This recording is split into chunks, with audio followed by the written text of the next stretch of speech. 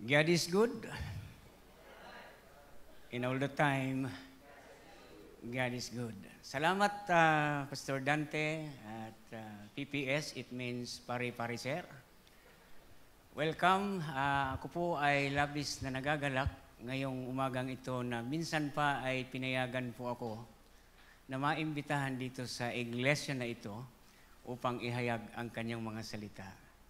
And uh, I was really surprised na yung mga batang maliliit pa noon, siyempre bata maliliit, eh ngayon ay sila na itong gumaganap dito po sa gawain dito sa iglesia.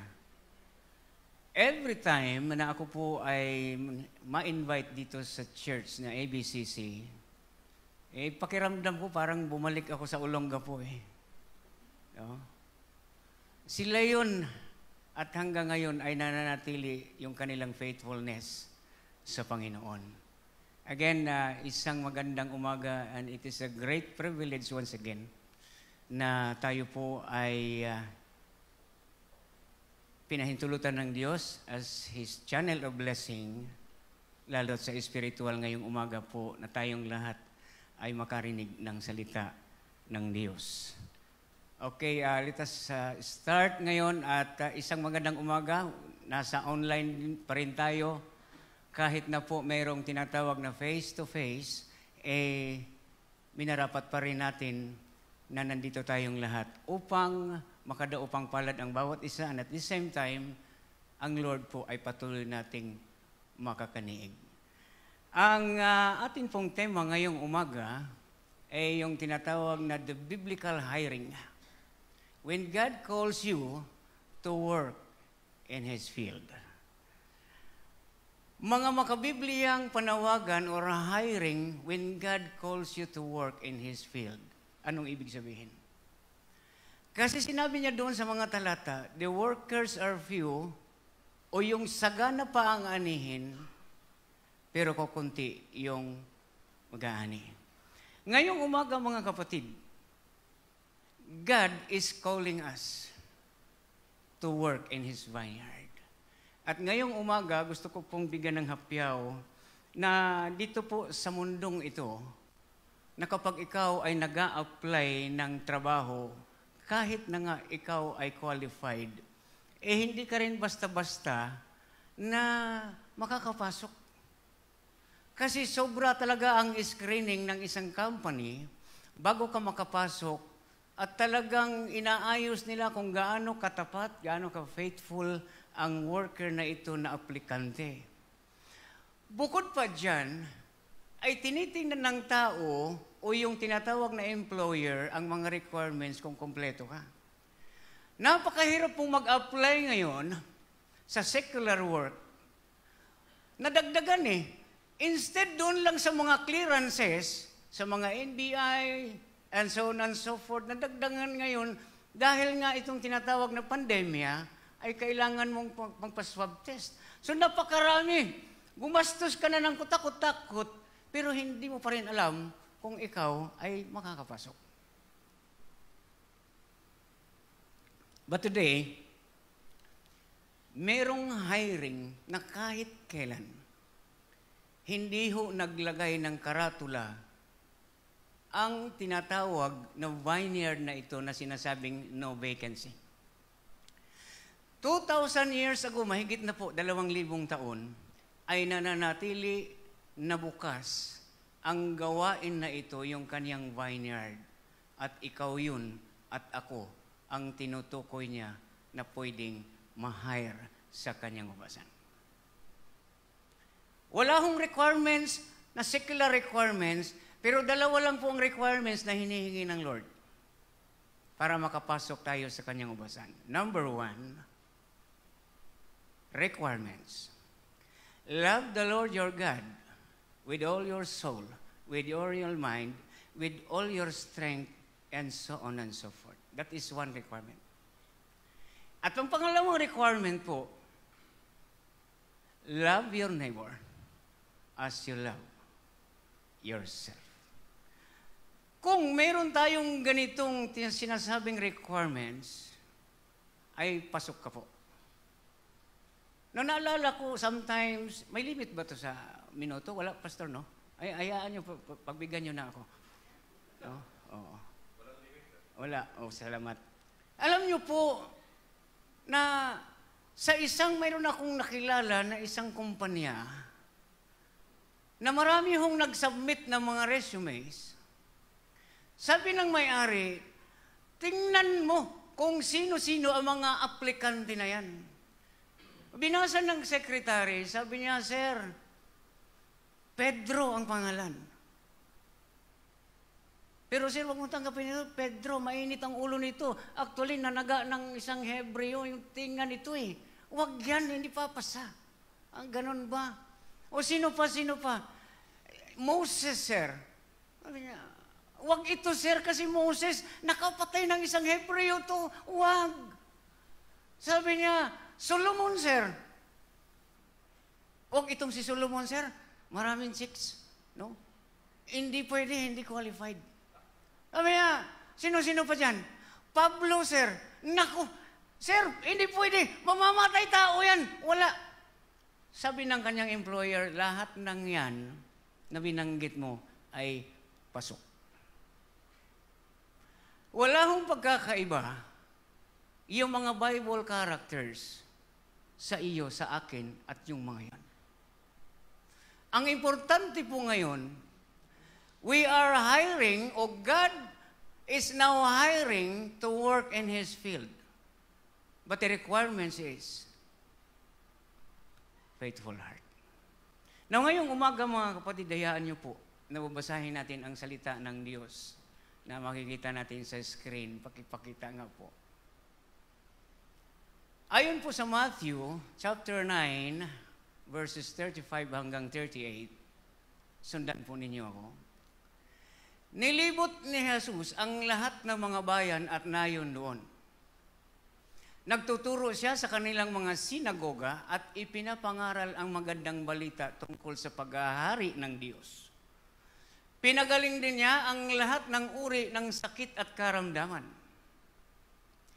Nang makita niya ang napakaraming tao, nahabag siya sa kanila sapagkat sila'y litong-lito at hindi alam ang gagawin, parang mga tupang walang pastol. Kaya sinabi niya sa kanyang mga alagad, napakaraming aanihin, ngunit kakaunti ang mag-aani. Idalangin ninyo sa may-ari ng aanihin na magpadala ng mga mag-aani. The Lord bless upon reading of His Word this morning. Alam niyo po si Jesus, nung minsan po ay nagkatawang tao siya. Ang kanya pong buhay, inispend niya dito sa mundong ibabaw ay umabot lang po siya ng 33 years old. At ang kanyang ministry ay umabot po ng tatlong taon at kalahati. After, after doon, ay iniwan na niya ang kanyang mga disciples. But beforehand, itong si Jesus, lahat ng ministries, pinasukan niya. Mayroong pinuntahan doon sa dagat, mayroong pumunta sa bukid, mayroong pumunta sa kapatagan, mayroong pumunta doon sa may ketong, lahat. Ibang klase yung Diyos natin eh. Sabi nga nila, wala kang hinihindian. And truly enough, wala po akong nababasa sa Biblia na meron siyang hinindian at tinanggihan. Wala. At ngayong umaga mga kapatid, ay patuloy na nanawagan ang Diyos na sinasabi niya, The harvest are plentiful, but the workers are few. Kaya ngayong umaga mga kapatid, the title of God's message ngayong umaga po is entitled, His Last Command, Our First Concern. Ang kanyang huling mandate ay ang ating pangunahing pagmamalasakit. Merong iniwan eh. At hindi ho pakiusap ang sinabi niya. It is a command. At ang sinabihan nito, ang kanyang mga disciples, wala na ang kanyang mga disciples. Ang sinabihan po dito, mga taga-ABCC. At sino yung mga taga-ABCC? Hindi lang po si Pastor Dante, hindi lang po yung music team, hindi lang po ako, or sino pa man sa atin, but all of us. It is mandated na mayroon siyang tinatawag na last will and testament na kanyang inihabilin ang word na ito before His ascension bound in heaven. Ano yun? Ang kanyang huling habilin ay matatagpuan po yung Great Commission ng Matthew 28, 19 and 20 na sinasabi niya, Go and make disciples of all nations, baptizing them in the name of the Father and of the Son and of the Holy Spirit, and teach them to obey what I have commanded you, for I am with you until the end of the earth. Iyan yung mandate. Yung kanyang huling habilin. Napaka-importante yung iniwan niya sa atin. And yet, ngayon, mayroon kang tinatawag na the first concern na kailangang ibulalas mo talaga ito sapagkat ito ay utos. Na ilang beses na akong umattend ng tao na naghihingalo. Na sinasabi niya doon sa pamilya, Anak, darling, huwag mong pabayaan yung mga bata. Ganon ang bilin ng pamilya eh. Ganon ka-concern ang isang papanaw na isang individual na iwan niya ang mundong ito. How much more si Jesus na ang concern niya, marami pa talagang taong nandyan sa dilim na kailangang abutin at dalhin sila sa liwanag. Three things that we are going to discuss ngayon pong umagang ito. Kaya pakisabi mo sa, sa katabi mo, pwede ba, pwede ba, wag mo akong tutulugan.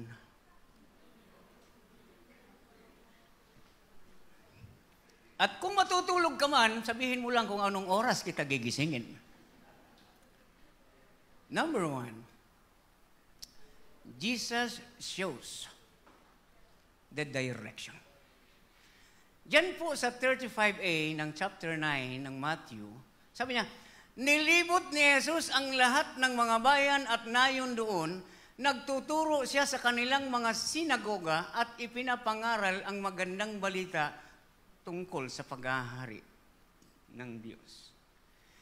Jesus comes out from his comfort zone. Bagaman siya ay Diyos, nagkatawang tao, pwede niya sabihin, kayo na lang, dito na lang ako. Pero nilipot niya, nilipot niya ang nayon at nagtuturo doon sa mga sinagoga. Sinagog means ito yung maliliit na kapilya na kung saan doon siya nagtuturo.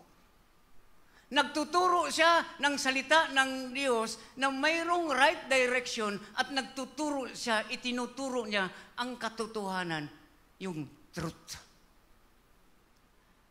Walang ginagawa si Jesus dito, bagaman maraming paratang sa kanya ang mga Pharisee, yung hindi naniniwala sa kanya, but it doesn't matter, ibrinodcast niya yung katotohanan na kung saan dito sa sinagog ay mayroon ditong mga tao na handang makinig, depressed, lupaypay at luhaan ang kanilang mga puso. Nalilito. Kaya nga ang Diyos ang nagbigay ng direction, si Jesus mismo, na ipinapangaral ang salita ng Diyos. He shows the direction, what kind of direction na pwede niyang ibigay. Alam niyo po yung direction na yan na sinasabi niyang, I am the way. I am the truth that no one can come to the Father except by me. Yan lagi totoo yung kanyang sinasabi. Doon sa sinagog, yun ang madalas niyang sinasabi upang magkaroon ng direction ang mga tao doon na lito at lupaypay at para silang mga pastol na walang nag-aalaga. But this time, we are hired in His vineyard. At ikaw yun at ako ang representative ng Diyos to tell the truth and to tell the way para malaman ng mga taong naligaw at nalito kung saan sila pupunta.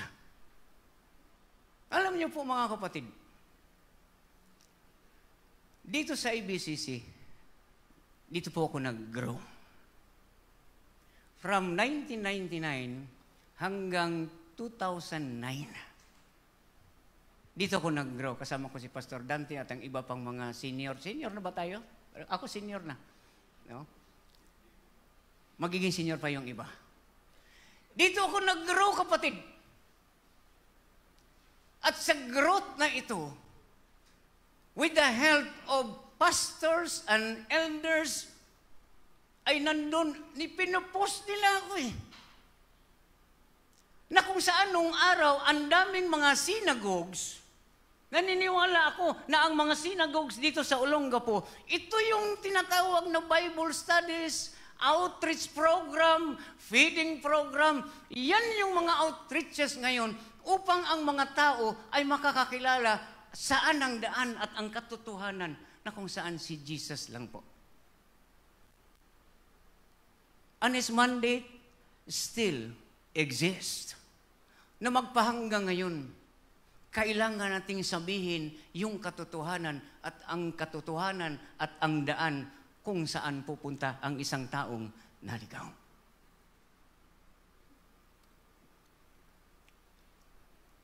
Siguro naranasan mo na.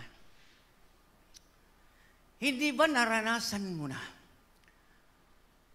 na meron kang nakita at natagpuan na restaurant dito sa Olongapo na ikaw ang nakatuklas na sobrang sarap doon ka na satisfied doon sa luto at maging yung ambience ng restaurant na ito. Sobrang sarap. Sabi mo, babalik-balikan ko ito kasi nilalanghap ang sarap talaga dito. No? Ngayon, hindi ba kapag natagpuan mo yung sarap at linamnam ng restaurant na ito, yung luto na yan, hindi ba hindi ka mapalagay?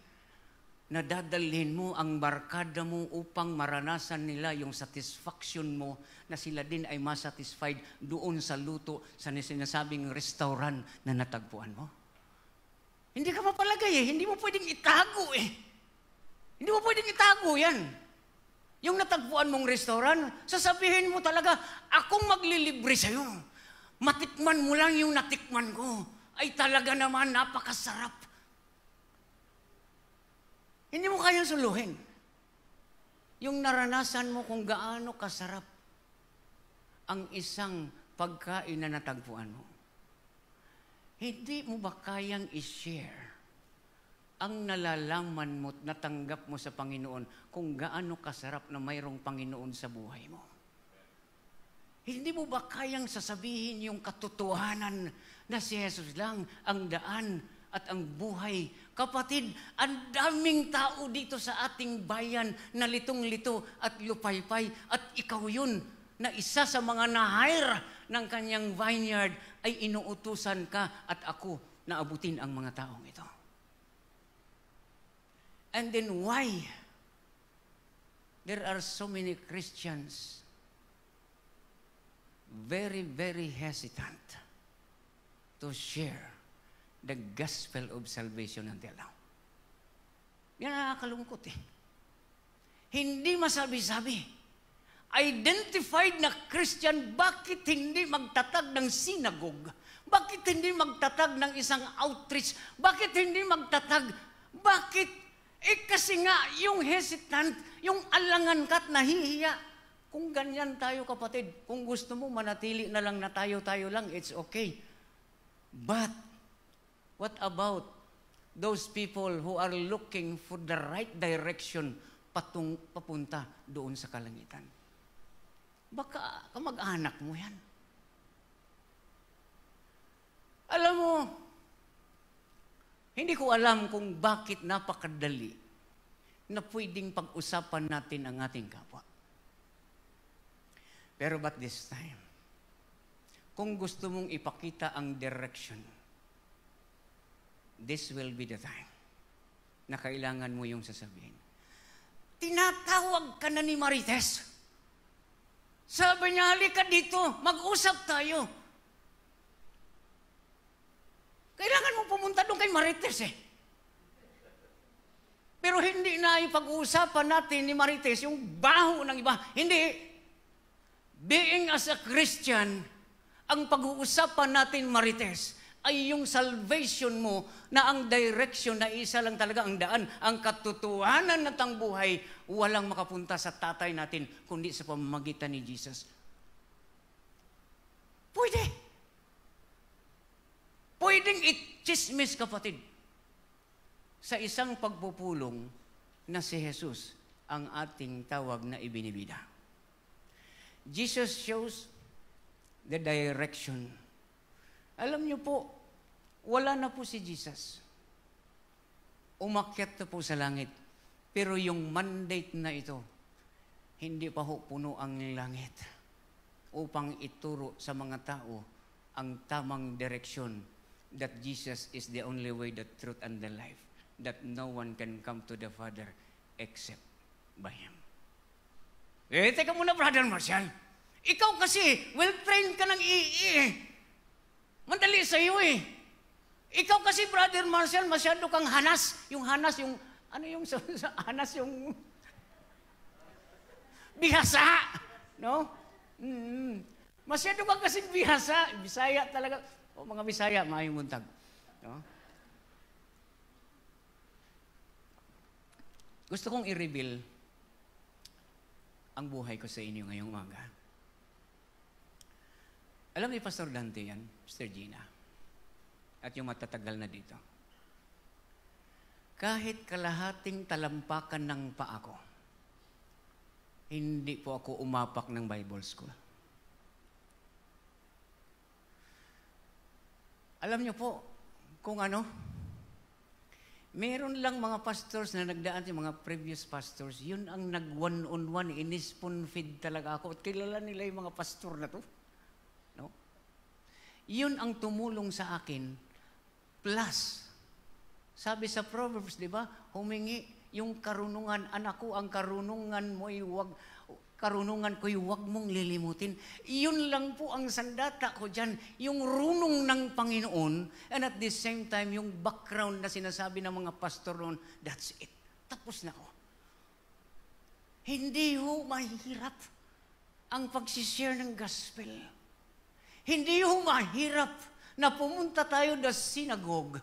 Hindi mahirap na sabihin natin yung katotohanan. Alam niyo po, sabi ng iba, Ala, pag nagkasala ka, talagang uh, ano yan, yung, yung nagsisinungaling ka, eh, kasalanan yan. Totoo naman. Pero alam mo ba, na mayroon ding mga bagay na hindi kasalanan, kahit na nga mabubuting bagay, eh kasalanan din. Ano yun? Yung hindi mo sinasabi yung totoo, kasalanan yan. Sinabi sa James yan. Yung ikaw ang nakakaalam na yung totoo na sasabihin mo, hindi mo masabi-sabi sa kumari mo, hindi mo masabi-sabi sa boss mo, hindi mo masabi-sabi doon sa lumiligaw sa iyo, baka baste din ako, baka matanggal ako sa trabaho, baka kung anong gawin sa akin pag sinabi ko yung totoo. Kapatid, siguro may katotohanan na nandyan sa puso mo, hindi mo mailabas-labas. Kailangan mo ilabas yan. Sino ang maghayag ng katotohanan at ang daan ng Panginoon at ang kanilang direksyon na paghahanggang ngayon paliko-liko ang kanilang buhay, pawindang-windang yung kanilang buhay. Sino? Bahalas Pastor Dante dyan? Hindi pwede. Lahat tayo ay binigyan ng mandate nito. Bata, matanda, slim ka man, o medyo healthy ka, inatasan ka dito. Mga kapatid, that is number one point. I hope the direction of Jesus will be revealed to those people who are in darkness. Yan ang pinakamahalaga. Number two,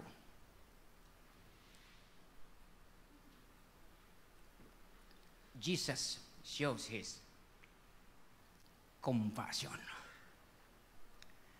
Sa verse 36, nang makita niya ang napakaraming tao, nahabag siya sa kanila sapagkat sila'y litong-lito. at hindi alam ang gagawin. Parang mga tupang walang pastol. Biro mo yan, no? Litong-lito na, tapos hinang-hina, tapos hindi alam ang gagawin, hindi alam kung nasaan ang tagapangalaga. And by this time, Jesus shows His compassion. Itong mga tao na ito, sunod, sunod ng sunod kay Jesus. Hindi dahil gutom. Eh kapapakain lang nito ng dalawang isda at limang tinapay eh. And after all, bakit ka ba, bakit ba kayo sunod ng sunod? Dahil mayroong mga tao, itong mga taong sumusunod kay Jesus, they need affection. Kailangan ng pagmamahal pala. Biro mo, ikaw daw, malitong-lito ka, at hinang-hina ka, at lupay-pay. Di ba kailangan mo ng pag-ibig? Hindi ba kailangan mo ng pagmamahal? And this time, Jesus never ignored these people following on Him. Nilingon niya to.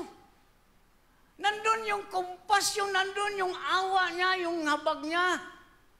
Bukod sa affection na naghahanap ng pag-ibig, nangangailangan siya ng attention. Kung si Jesus ay nagbigay ng affection at attention sa mga taong ito, na pwede naman niya sana niyang baliwalain at sasabihin niya, eh, pagod na ako eh. Pahinga muna ako, bahala na kayo dyan. Pero walang segundo or minuto na pinapahinga ni Jesus ang isang precious moment na magbigay siya ng affection doon sa mga taong litong-lito at lupaypay. I'm sure na ngayong umagang ito, na mayroon kang dinaanang tao na naghahanap ng kalinga, naghahanap ng pag-ibig sapagkat wala na pong nagmamahal sa Kanya. And I'm sure Jesus knew na yung affection or pag-ibig na nandyan sa iyo, galing yan sa Kanya. And this must be applied doon sa taong dinaanan mo kanina at nangungulit sa iyo at naghahanap ng pag-ibig at pagkalinga. And at the same time, pansinin mo naman ako. Kung minsan po nagtitext ang isang tao, pero naghihintay ng reply ang isang tao kapag tinitext ka. Pag tinext ka, umaasa ng reply ang problema po, nag-text siya ngayon. Ang reply natin bukas na. At sasabihin pa natin, lubat ako at saka walang load. Bukod pa dyan, kung meron man load at ano naman, full, full charge naman yung kanyang battery, napapatayan tayo ng cellphone. At kapag tumatawag ako sa iyo, babae ang sumasagot hindi lalaki. At ang sagot ng babae, the subscriber cannot be reached. Where is our affection to those people who are lonely, sugatan ang kanyang puso at damdamin? Marami! Maraming tao. Maraming tao, kapatid, na naghahanap po ng affection Akala mo lang wala, wala, pero meron. Siguro nakarelate kayo sa pelikula eh. Gaano na karaming taong nangangailangan ng pagpansin mo and yet parang baliwala sa atin. Alam mo po, kung si Jesus ay nagpakita ng affection at attention, then kung sinasabi mo, I will follow you, Lord. Yes, Lord. Yes, Lord. And yes, Lord. Sana naman bigay ka ng pansin sa akin. Sana naman bigyan mo ako ng oras kahit konting sandali. Dahil kailangan kita. Siguro yung kanta ni Lani Misalucha, kinakanta natin yan. Nasa na ang pangako mo noong sinusuyo ako Anong tamis, anong lambing binibigkas ng labi mo?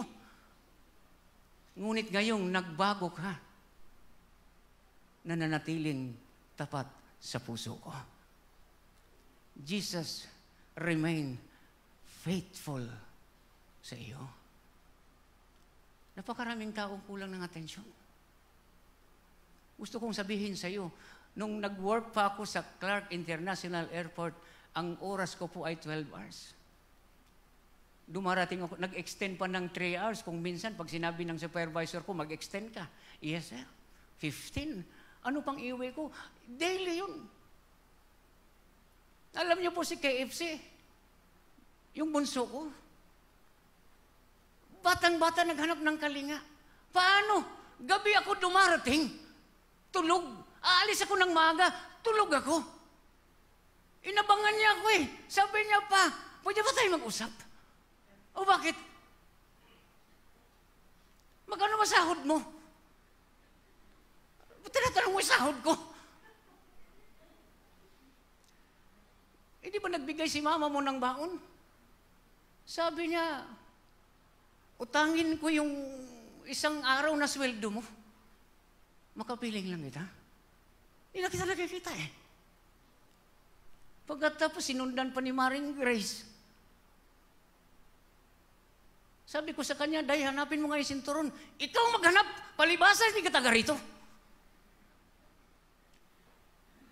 Anong bottom line? Time.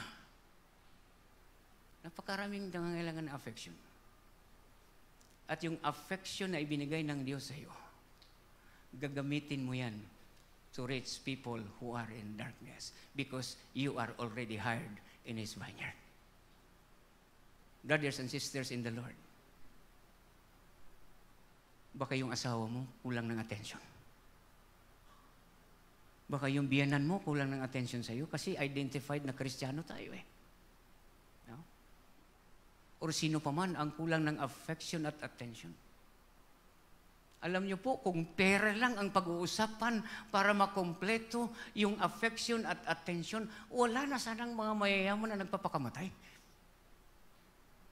Kilala mo yun, yung mga mayayaman na nagpapakamatay? So, hindi pera ang kailangan para ma-solve yung affection and attention. Kailangan nila ng presence mo. Kailangan nila yun. And by the way, mayroon akong kakilala na gusto nang magpakamatay. Sabi niya, Mars, masakit na para sa akin. Nag-duty ako ng 12 hours bilang security. Yung misis ko naman, nag-duty rin ng 12 hours doon sa iba. Gaano kapigat ang puso ko, Mars? Magpapakamatay na ako. Huwag mo gagawin yan. Nandito kami. Pero ang ginawa niya, kumuha ng lubid. Kumuha ng pisi. Lubid, pisi. Isa lang yan. Madaling araw, lumabas siya. At doon sa isang ospital sa Angeles, mayroong bakante doon sa likuran na maraming puno ng akasya at marami doong baka. Nagdala ng PC or lubid. Nag-ikot na siya at naghanap ng medyo sanga na mataas. Habang wala siyang nahahanap, mayroong grupo ng mga pulis nagro-ronda, pick up service ng pulis nagro-ronda, naikutan siya, may hawak na lubid, nailawan siya, hinagis niya yung lubid. Sabi ko, bakit mo hinagis? Eh kung mahuli ako, baka mapagbintangan na nagnanakaw ng baka.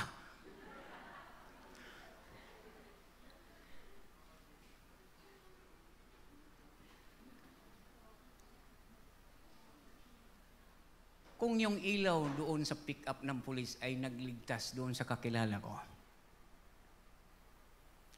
Sabi ng Bible, sa Matthew 5:13 hanggang 16, You are the light of the world.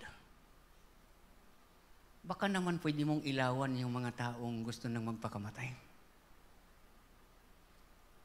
Baka naman kailangan mong ilawan and they need affection and they need badly our attention. Sana hindi mo ko baliwalain. ang mga taong nakakakilala sa iyo? Na hanggang ngayon kinukulit ka, pwede ba kitang makausap? At pirinang ka na. Sabi niya, gusto kitang makausap. Hindi ko po kailangan ang pera mo. Ang kailangan ko'y ikaw. Kasi diyan ko nakikita ang pag-asa ng buhay ko. Alam mo, kung wala ka lang, matagal na akong patay. Pero ikaw ang nakikita ko na lingkod ka ng Diyos na nagbigay ng affection sa akin, nagbigay ng attention sa buhay ko. Kaya nabuhayan ako ngayon. How many people na nandyan na sa mga kalagayan na ito? Marami sa atin, wasak ang family hinahanap-hanap ang mister, hinahanap-hanap ang misis. And even nga sa pinakamamahal mong nililigawan, nag-asawa ng iba, gusto mo na rin tumaron sa tulay at nagtitirintas ka doon, mag-isa, nagsasalita ka doon sa tulay, nagtitirintas ka at nagsasalita kang mag-isa. I do not know who are those person kneeling and bowing the Lord napansinin mo naman ako. Kailangan ko ng attention mo. Kapatid, wake up. Labas na tayo sa ating comfort zone. Because there are so many people waiting for us. Needs our affection and our attention as well. Number three, hindi tayo magtatagal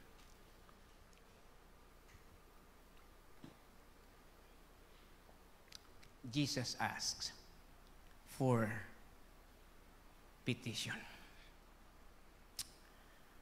In verses 37 and 38 ng chapter 9 ng Matthew, kaya sinabi niya sa kanyang mga alagad, napakaraming aanihin, ngunit kakaunti ang mag-aani. Idalangin ninyo sa may-ari ng aanihin na magpadala ng mga mag-aani. The workers are plentiful. Ano? The harvest are plentiful, but the workers are few. Tingnan mo yung concern ni Jesus. Idalangin niyo sa may-ari ng anihan. Sino may-ari? The Father. Na magpadala siya ng manggagawa sapagkat kukunti ang taga-ani. I believe ABCC ay maluwag pa po para mag-apply ka dito bilang workers. One of those workers in this church. At ang requirements, mag-pray tayo na magpadala ng marami pang workers ang, sa church na ito upang patuloy at sama-sama tayong lumago patuloy na lalabas doon sa battleground, it doesn't matter kung ikaw man ay i-reject sa paghahayag ng Panginoon. Hindi naman ikaw ang nire-reach si Jesus. Pero kung ganun ang ating isipan, kapatid, ay baka i-reject ako, yan ang malaking failure sa buhay mo. Ang pinakamalaking failure sa buhay, yung hindi mo sinubukan ng isang bagay. Kailangan mo subukan. Manalangin tayo na magpadala ng maraming workers ang Diyos dito sa ating iglesia. Dagdagan pa. At ang requirements po, number one, fat workers. Hindi yung build sa katabi mo, yung build ng katawan ng katabi mo, hindi yan fat, hindi yan. Huwag yung sulyapan.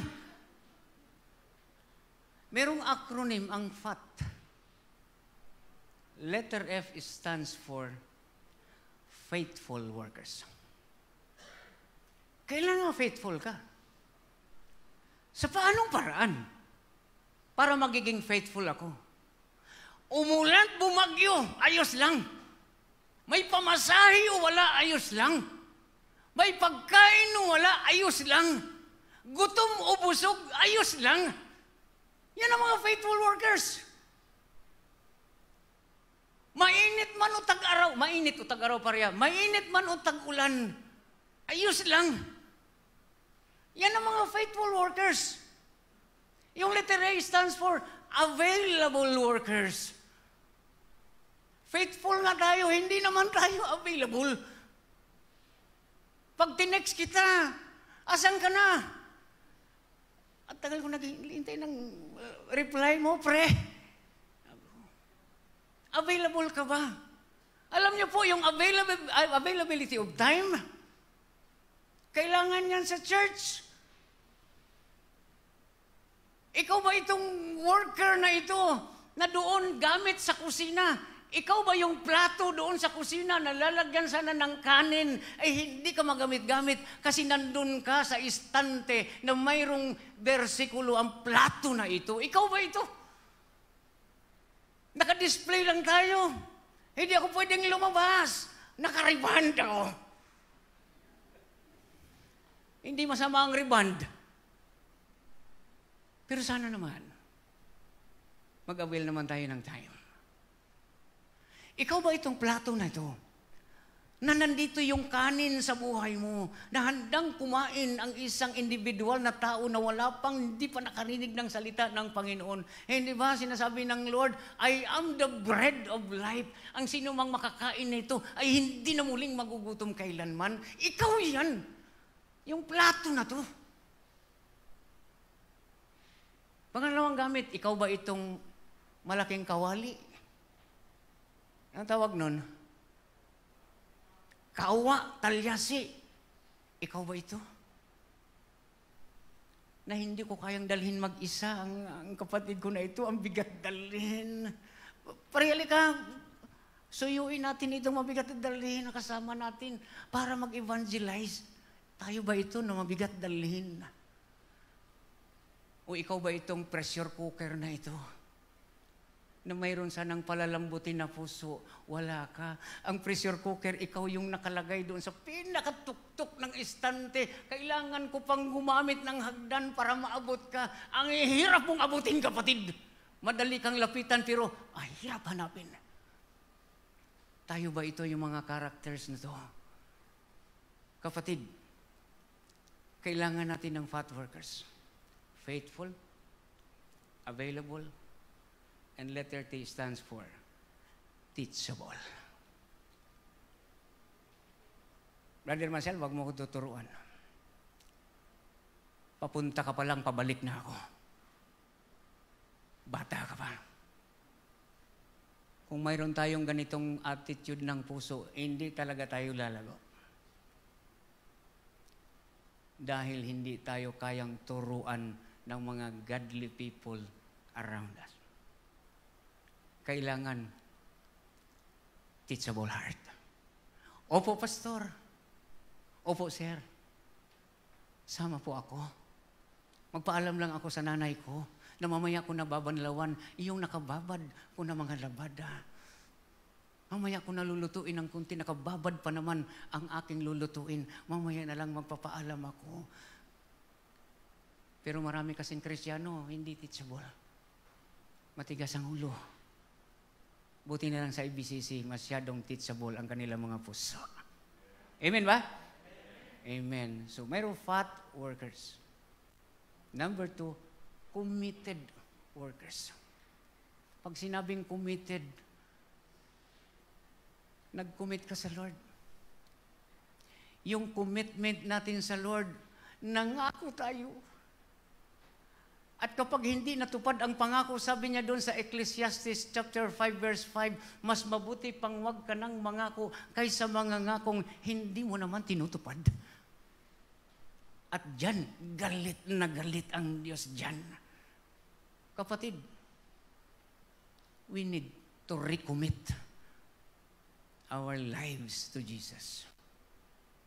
Kailangan natin ng commitment. Hindi yung kamuat may eh Commitment. Committed. Hindi yung committed ha, committed. Oo. Workers. And I hope ngayong hapong, ngayong umagang ito, yung atin pong napag-aralan ngayong, hap, ngayong umagang ito, I do hope, and I do pray, and I do believe na ito ay gagawin natin in any cost sa atin pong buhay. Now, before I close this God's message, hayaan nyo na ikwento ko itong illustration na ito na galing po kay Dr. John Vinza. Ganito yung sinasabi ni John Vinza. Meron pong isang pamilya na nakatira sa tabi ng dam. Dam. Lamisa dam, anggat dam, supplier ng tubig. Itong pamilya na ito, ang bahay nila ay bahay kubo. Sabi ng tatay, Mrs., mga anak, makinig kayo. Bukas na bukas, mag-picnic tayo doon sa ibaba ng dam. Parang maliligo sila, parang falls. No? Alas 9 ng umaga, baba na tayo, dala na ang ating mga pagkain. Sabi ng mga tayo, yehe, yehe. Bumaba silang lahat. Wala akong naiwan sa bahay kubo nila. Nag-enjoy po sila kapatid sa kakaswimming.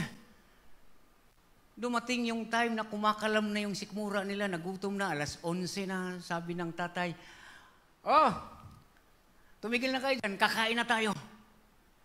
Magsandok ka na, darling. Nagsandok yung darling niya, sabi niya, may kulang dito, mahal. Anong kulang? Nakalimutan yung kanin. Lalo sa taas. Sabi nitong tatay, sige, magsandok ka dyan, kukunin ko yung kanin. Bago pumasok yung tatay para kunin yung kanin sa loob ng bahay kubo, nakita niya yung dam na malapit na bumigay. So sabi niya, sumigaw siya doon sa baba. Kasi bibigay na yung dam eh. Kahit anong sigaw niya, hindi marinig. Alam mo ginawa nito? Yung tatay na to? Sinindihan yung bubong nung ano, kubo. Kugon eh.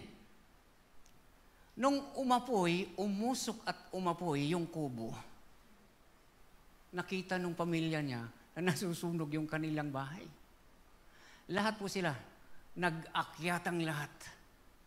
At nung nakaakyat na sila, sa kabumigay, yung dam.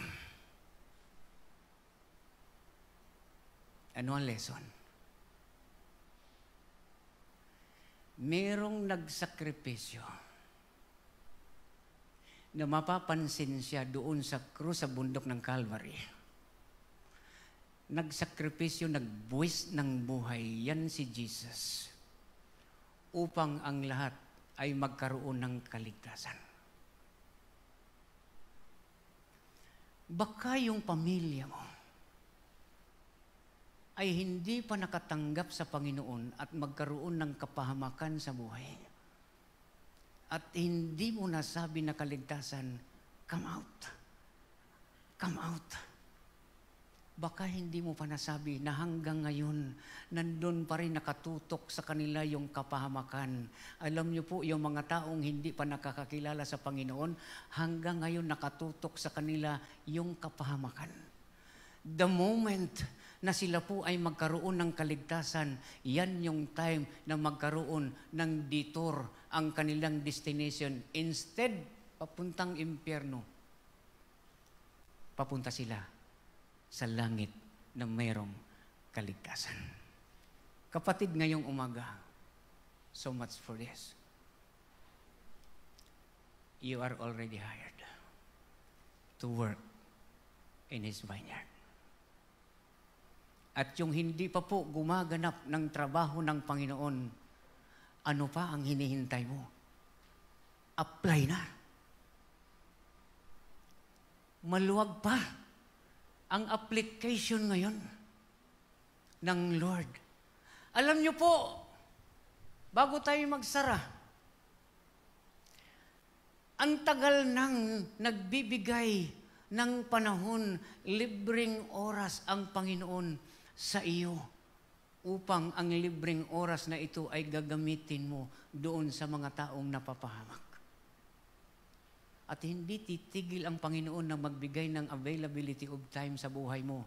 Yung time na ito na ibinibigay ng Diyos na sinasabi niya, sige na, sige na, bahaginan mo na yung sweetheart mo. Bahaginan mo na yung nanay mo. Bahaginan mo na regardless in any cost. Sige na ako nang bahala kahit matanggalan ka na ng allowance, kahit matanggal ka sa trabaho dahil ibinahagi mo ang salita ng Diyos. Ako na ang mananagot sa lahat ng pangangailangan mo. For I am with you always until the end of the earth. At binanggit niya, I will never leave you, nor forsake you. Brothers and sisters in the Lord, hanggang dito lang po ang message ng Panginoon. And I hope yung maikling mensahe na to ay nagbibigay ng hamon sa bawat isa sa atin. Let's make a double time bilang mga lingkod at manggagawa ng Panginoon. May I request everyone to please rise.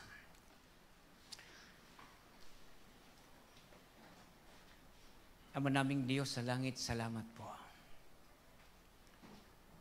sa isang victory ngayon pong magang ito.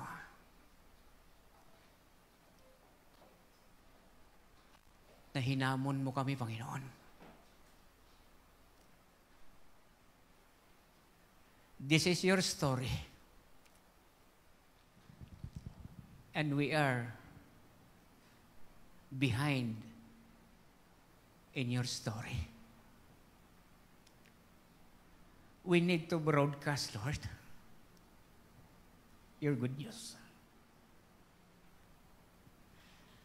Kailan pa namin gagawin ito, Panginoon?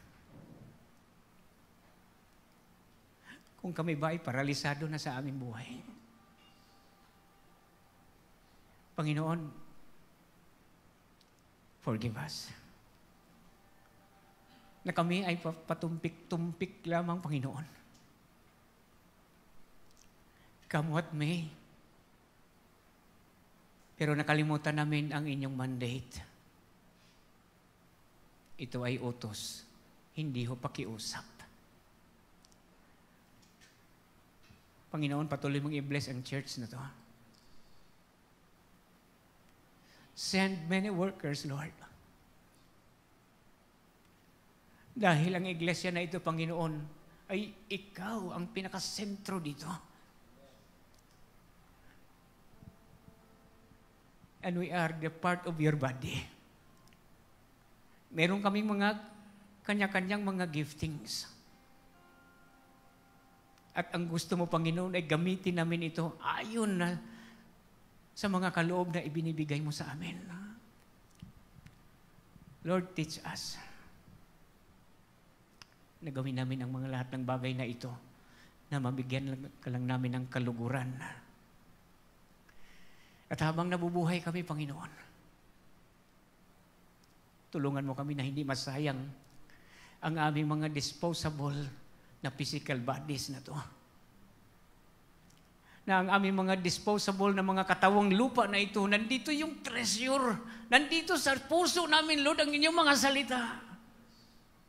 And we need to expose your words. Panginoon, wag mo kaming hayaan na patuloy kaming matatakot sapagkat binigyan mo na kami ng espiritu ng kapangyarihan. Binigyan mo na kami ng espiritu ng pag-ibig. At binigyan mo kami ng Espiritu na mayroong self-control and sound mind ba, Panginoon? Lord, hindi, ang gawain ay dito, Panginoon, sa ABCC, hindi ho. Sa isang pastor lang, kundi kaming lahat, Panginoon, as part of your body, ay gagawin namin ang lahat ng ito. Whatever the cost. Panginoon, salamat po sa inyong mga salita na nagsibing hamon ngayong umaga. And I believe bilang hired workers in your vineyard ay gampanan namin ang aming mga tungkulin na ito. Kung kami man po ay namamasukan sa mga secular works. Let our lives shine upon us. Na ang buhay namin, Panginoon, magningning ka sa aming buhay, Panginoon, dun sa mga taong araw-araw namin na nakakasalamuhan. At alam namin na sila ay hindi ligtas, Panginoon. Alisin mo sa amin ang pagkatakot, alisin mo sa amin ang pagiging mahiyain. Panginoon, sa inyong gawain, pakapalin mo ang aming mga mukha, Panginoon. Masabi lang ang inyong utos. Panginoon, salamat po sa, sa umagang ito. Thank you so much. We give you glory. We give you the highest praises and the highest honor. In the name of Jesus Christ, we pray. Amen and amen. Good morning.